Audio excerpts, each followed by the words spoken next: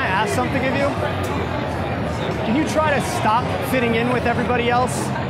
I understand the fear of rejection. I understand the primal instinct that 10 and 20,000 years ago, for survival, we had to fit in. For survival, we had to be like everybody else. Now, what does it serve you to be like everybody else? What does it serve you to go out and get drunk on the weekends? Who's celebrating are you doing? Are you celebrating your success? Because if you're not where you want to be, what are you out celebrating for?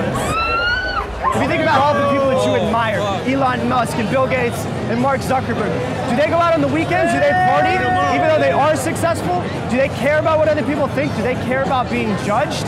Do they have the fear of rejection? I don't think so. See, 95% of people in the world, you could probably agree, have mediocre lives. And if you don't want to be mediocre, then why do you continue to try to fit in with all of these people who live these mediocre lives? So the thing I want to ask of you, the next time you feel like you have that fear of rejection, can you replace it with a fear of actually fitting in and being like everybody else? Because not fitting in is how you live an extraordinary life.